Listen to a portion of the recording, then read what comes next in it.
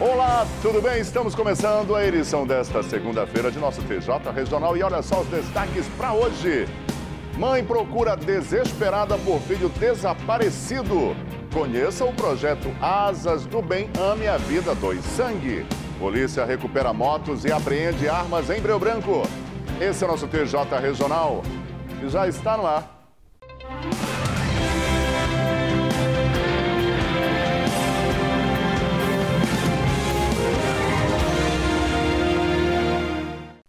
Começou hoje uma ação do projeto Asas do Bem Ame a Vida Doe Sangue, uma programação para incentivar a doação de sangue.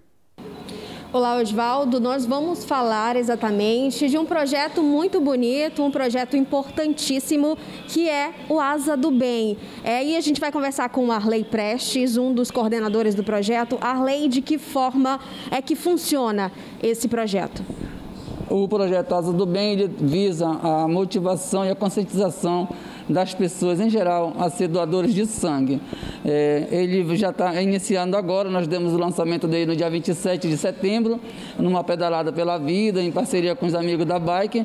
A gente fez o lançamento do projeto. E hoje nós estamos aqui no Emopa, nessa campanha de 5 a 9 de outubro, para que as pessoas venham doar sangue, mas o mais importante nesse momento, agora, nesse início, é as pessoas virem para ser, uh, ouvir uma palestra, conscientização da importância de ser doadores de sangue. Então, se você que vir participar com a gente, também ainda vai estar concorrendo a alguns prêmios. Só vai deixar o seu nome, é, preencher o cupom e vai estar concorrendo é, a vários prêmios. Então, faça, ame a vida, doe sangue. Venha conhecer o projeto e também ajude-nos a salvar a vida. Eles podem, essas pessoas podem procurar vocês de que forma? Ah, nessa semana nós vamos estar no Emopa. Todos os dias, de, segunda a sexta, nós iremos estar no Emopa. Mas as pessoas que quiserem continuar é, ajudando e fazer parte, como estamos no início, as pessoas ainda podem é, fazer parte não só da doação, mas da, também do projeto. Então, nos procurar, pode procurar eu pessoalmente, que é pelo, pelo número 94 981 25 4857, ou pode procurar nossa irmã aqui no, no, no Emopa, a Lucilene também, que ela estará dando, uh, não só passando nossos contatos, mas também dando as informações que o projeto, que a pessoa precisa para fazer parte do projeto. É muito importante todas as pessoas é, conhecer o projeto para poder saber aonde é que ela vai poder ajudar. Ok, muito obrigada, Arley. E aqui do meu lado também está o doutor Carlos Conde. Doutor, muito importante esse projeto também para o Emopa. Com certeza, né? É um projeto é, que visa atender a nossa demanda, né? O Arley, junto com o grupo dele, está né, é, tá aqui colaborando conosco durante essa semana, como ele já colocou anteriormente. E a gente espera né, a participação é, de um grande número de, de doadores né, e a gente possa é, atender a nossa demanda é, de maneira satisfatória. Quais os requisitos, né, doutor? Só para lembrar uh, o que, que as pessoas é, devem, como que as pessoas devem vir? Olha, primeiramente bem alimentadas, né? É uma doação que é, a pessoa tem que estar tá, é, ter se alimentado bem durante a manhã. É, ter ser maior de 18 anos ou ser até menor, mas que venha com responsável, esteja bem de saúde, né? Então, a partir dos 18 anos até os 60 anos, é, não há nenhum impedimento das pessoas virem doar. Então, a gente espera a participação da nossa comunidade, da nossa sociedade, né, nesse projeto tão bonito que o Arley está levando aí e a gente espera é, a participação de todos. A Polícia Militar de Breu Branco recupera duas motos e apreende arma de fogo durante o final de semana.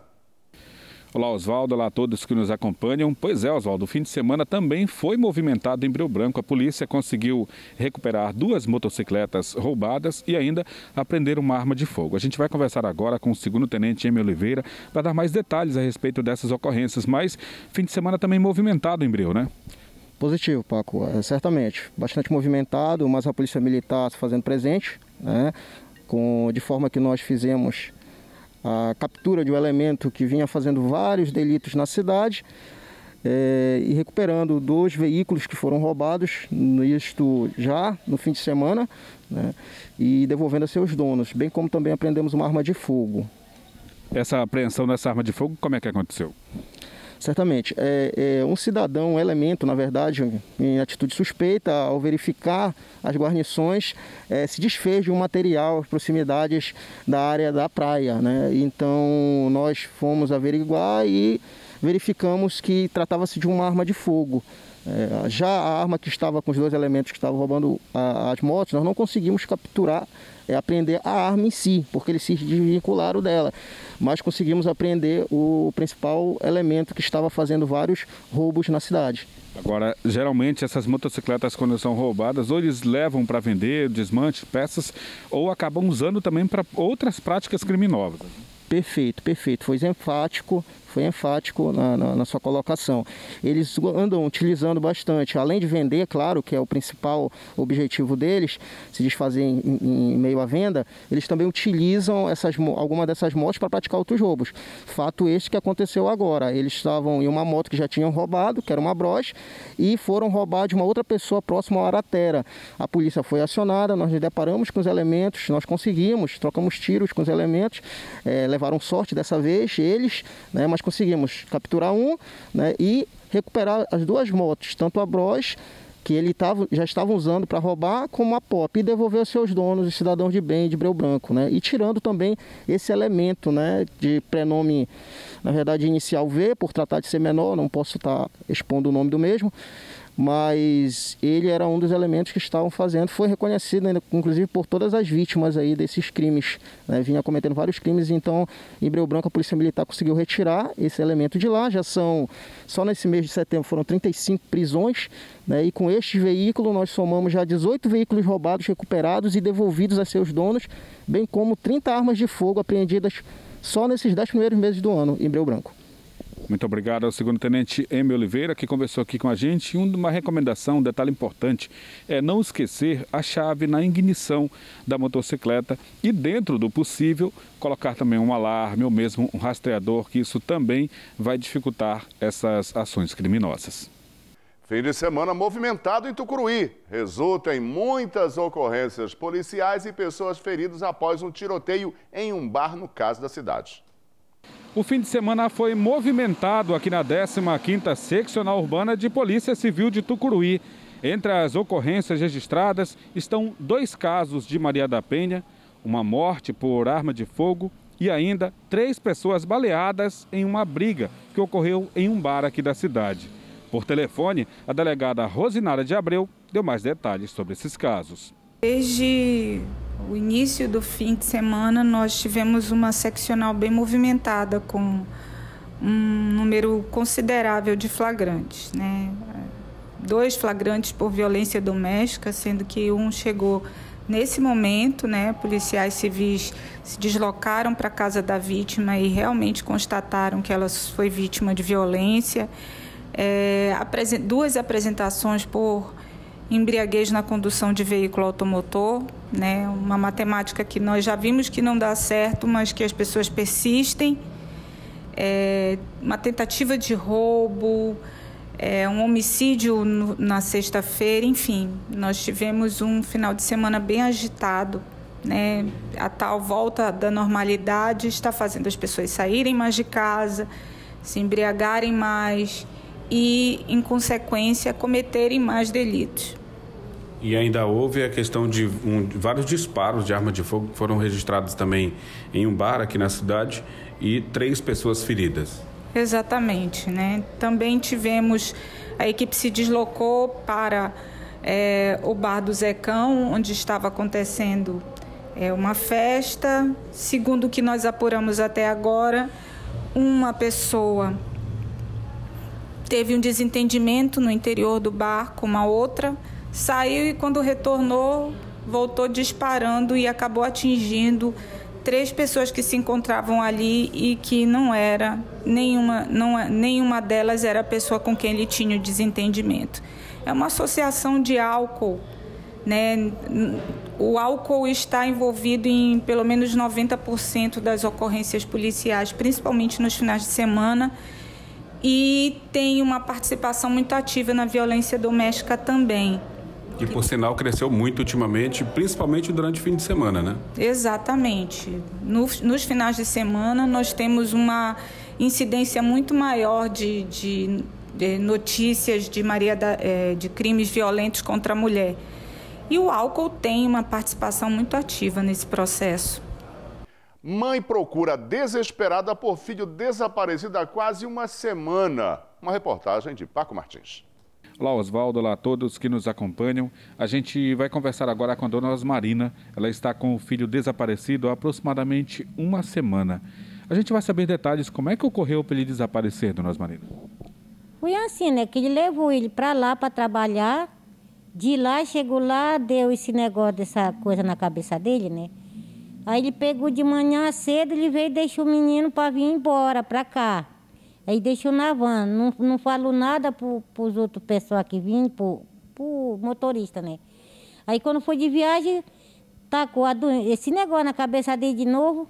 Aí ele coisou lá, deu, pegou, queria, pegou lá, disse na cabeça de uma mulher e o, esse sorriso mandou parar a van e jogou ele na frente de Serataú. Lá, ele jogou o menino para lá. Para lá o menino ficou. Então, desde isso, ninguém sabe notícia. Aí o homem que levou ele, esse Luiz, ainda se comunicava com nós. Agora ele não se comunica mais. Então, não dá decisão do menino, não dá decisão de nada. Então, eu estou desesperada, minha gente. Pelo amor de Deus, é a vida de um filho meu que está perdido. Quem puder me ajudar, saber no paradeiro do meu filho, me ajude, pelo amor de Deus. Desde isso o pai dele não trabalha mais, nós temos passado necessidade que o pai dele não pode trabalhar mais. Não pode trabalhar, porque o pai dele também é de idade, já não pode trabalhar. Então, se a pessoa que saberem por onde meu filho estiver, me ajuda, pelo amor de Deus, que eu estou desesperado, gente. Como é que é o nome do seu filho? É Robson Santana Duarte. Ele é moreno, tem o cabelo assim grande. A cabelo dele é. Ele é o mais velho da turma. E assim, gente, eu estou desesperado. Não sei o que eu posso fazer mais. Eu não tenho dinheiro para estar tá correndo atrás, para estar tá andando atrás do meu filho. Então, quem levou ele, eu peço até pelo amor de Deus que venha me ajudar a achar meu filho. Que é uma vida que está perdida, minha gente. Esse rapaz que levou ele, levou ele para onde? Para ele trabalhar onde? Para a cidade de Anapude, levou para lá, né? Para trabalhar aqui. Ele trabalha de motoqueiro, assim. Aí chegou lá e não deu conta, deu esse negócio, nem não pude mais trabalhar. Mandou de volta. Mas a obrigação dele era vir deixar meu filho, então mandar um acompanhante para me deixar na minha casa, né? Da onde ele tirou meu filho. E agora ele não atende mais? Não, ele não está atendendo mais. Esse sorriso foi que, o, que jogou ele da van de novo, na frente de Cearataú para ir. A senhora agora desesperada, querendo informações e encontrar o seu filho, né? Quero encontrar meu filho, pelo amor de Deus. É uma vida que está perdida na minha vida. Eu não tenho nada na minha casa nem para comer, porque o meu filho está perdido, o pai não está podendo nem trabalhar. É isso mesmo, que eu estou desesperada. Você sabe, você já tem filho, garanto, já. Você sabe que o amor de filho dói. É, a dona Marina realmente está bastante emocionada.